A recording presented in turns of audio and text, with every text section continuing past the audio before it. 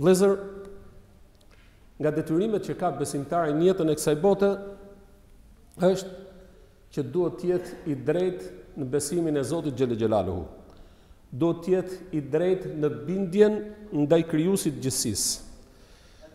Dhe mos t'i bëjë dredhira urdhrave apo ndalesave që ka ky besim. Sepse Zoti në ajetin Kur'anor thot: "Fastaqim kama umirt." I thot çdo besimtarit: "Drejtohuni ashtu siç Zoti xhele xhelalu ju ka urdhëruar." Pra drejtohuni në këtë besim.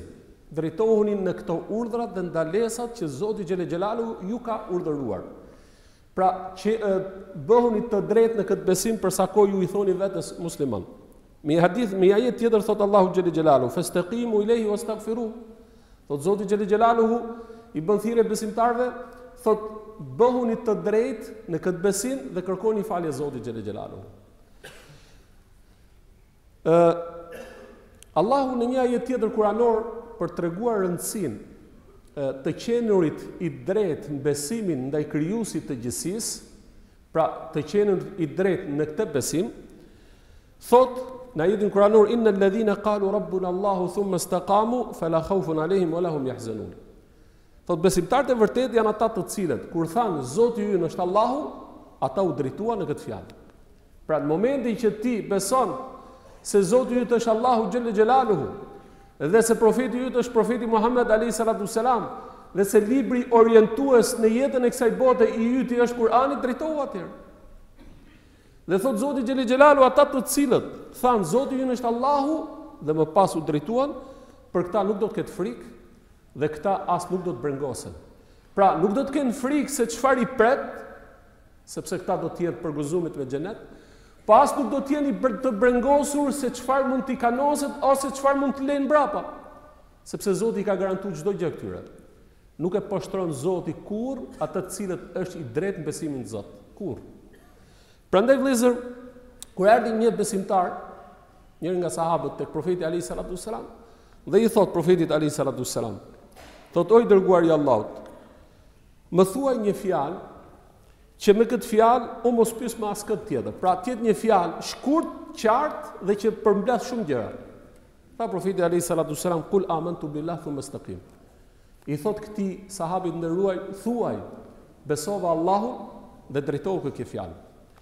Momenti kur besimtari thot unë besova Allahun xhele xhelalu duhet patjetër të jetë i drejtë në këtë fjalë që ai thot. Në momentin kur ai thotë unë besoj, duhet të jetë i drejtë në besimin e tij. Se nuk ka logjikë ti të besosh dhe të bësh të kundërtën e asaj që besimi jot të ndalon. Prandaj vëllezër, ë të qenurit i drejtë besimin tek besimin në besim do thotë është është baza e lumturisë. Është rruga e suksesit, po gjithashtu dhe është e ngren dhe e lartëson njeriun në këtë botë dhe në botën e përtejme. Pra, të qenit i drejtë, e bën njeriun të lumtur në këtë botë, po gjithashtu është i suksesshëm si në këtë botë dhe në botën e përtejme, po Allahu këtë njeri vetëm do ta ngrejë, si në këtë botë, ashtu dhe në botën e përtejme. Prandaj vllezër, thonë dijetarët fjala të qenit i drejtë në besim do të thotë, Ti duhet të bësh atë që Zoti të ka porositur dhe të largohesh prej asaj që Zoti xhel-le xhelaluhu të ka ndaluar. Dhe të jesh i vazhdueshëm dhe të jesh këmbëngulës në këtë besim deri ditën kur takosh Zotin xhel-le xhelaluhu. Prandaj dhe Umeri radhiyallahu anhu Na tregon neve për çështjen e fjalës të qenurit i drejtë në besim, thotë, kur e pyetën se si duhet të jemi të drejtë në besim, thotë thotë Umeri radhiyallahu anhu, të qenurit i drejtë në besim do të thotë që të drejtohesh në atë që Zoti të ka porositur dhe të largohesh prej asaj që Zoti të ka ndaluar dhe mos t'i bësh dredhit si dredhit e dhelprës. Pra kur Zoti thotë falu, ti të bësh nji dredhi dhe t'i nxjerrësh një justifikim vetes tënde që mos falesh. Zot na ruaj kur takohem nganjëherë me nji musliman, fjala më e rëndë që ngjoj ose që kam ngju ndonjëherë i them, hajde të futesh të falesh, thot rri se jam xhynyp, nuk vi dot. Nuk mund të qëndrojë një njeri dhe një mashkull dhe një besimtar që i thot vetes besimtar xhynyp. Se xhynyplluku hiqet duke u la i gjithë. Pra, ta justifikosh apo t'i japësh ose të dredhosh duke justifiku veten tënde për mos me e zbatu atë që Zoti t'ka urdhëru, do thot, Zoti na rujt, i justifikon veten pa të drejtë. Vllezër, duhet të kuptojmë se të qenur i drejtë në këtë besim është një nga kërkesat madhështore të këti besimit. Dhe gjithashtu, kërkon një sakrificë për secilin besimtar në këtë gjë. Pra, në momentin kur njeriu do të jetë besimtar, mundohet të jetë gjithmonë i drejtë. Ka momente që devijon, por nuk prish punë. E rëndësishme është që prej teje të kërkohesh që ti të mundohesh dhe të sakrifikosh derisa të drejtohesh plotësisht. Nuk u drejtove qind për qind, nuk ka problem, e rëndësishme është që ti e ke vendos si brengën tënde për të qenë i drejtë në këtë besim. Kjo është logjika e kësaj. Prandaj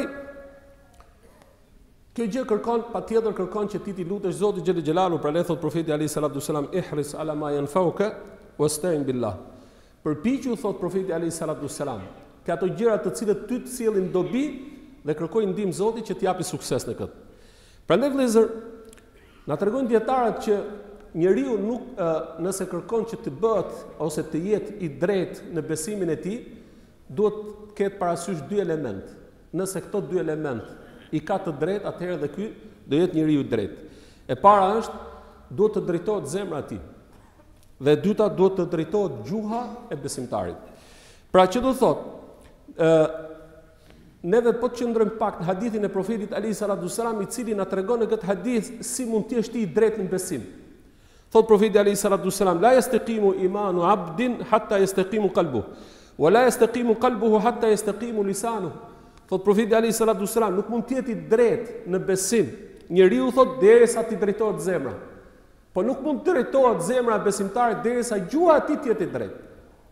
Kështu thotë profeti alejhi salatu selam, pra na tregon neve që nëse zemra drejtohet dhe gjuha drejtohet, atëherë në këtë rast njeriu është i drejtë në besimin e tij.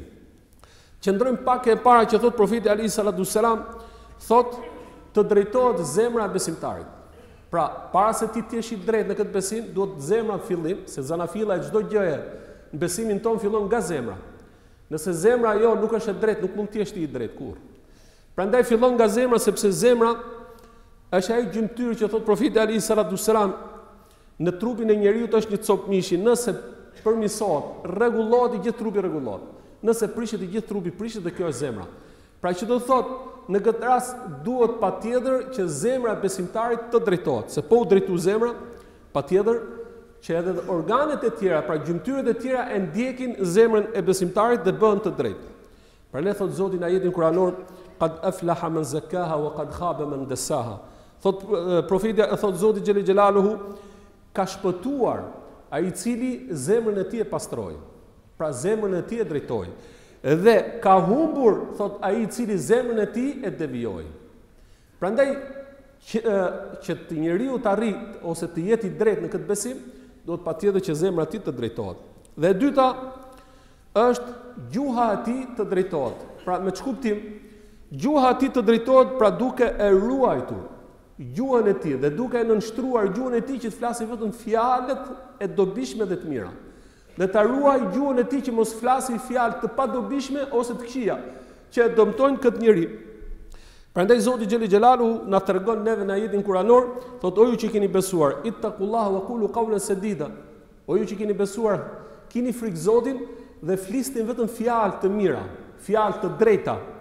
Pra sepse kur drejtohet gjuha, patjetër që drejtohen edhe gjymtyrët e tij. Prandaj në një hadith Profeti alejhi salatu ue selam thotë, kur gdhihet njeriu, thotë Profeti alejhi salatu ue selam, të gjithë gjymtyrët i nënshtrohen gjuhës dhe i thonë, "Ki frikë Zotin për ne." Sepse thotë, ne jemi pas te, pra ne të ndjekim ty, nëse ti thotë drejtohesh edhe ne drejtohemi. Dhe nëse ti devijon, edhe ne devijojmë. Nuk mund të themi neve siç shprehet ose siç ngjojmë rëndom kur shikon ose ngjon dikën që gjuha e tij është shumë e ulët ose shumë shumë e ndyrë, thotë shiko zemrën e ka të mirë ai, pavarësisht gjuha. Jo, jo. Nëse gjuha është e keqe, edhe zemra e tij është e keqe. Sepse gjuha përkthen atë që ka njeriu në zemrën e tij. Prandaj Zoti xhelle xhelalu i ka i ka lidhur të gjithë gjymtyrët dhe organet e njeriut me njëri tjetrin. Nuk mund të themi ne që kjo dora e keqe dhe kjo është e mirë, janë të lidhur bashkë.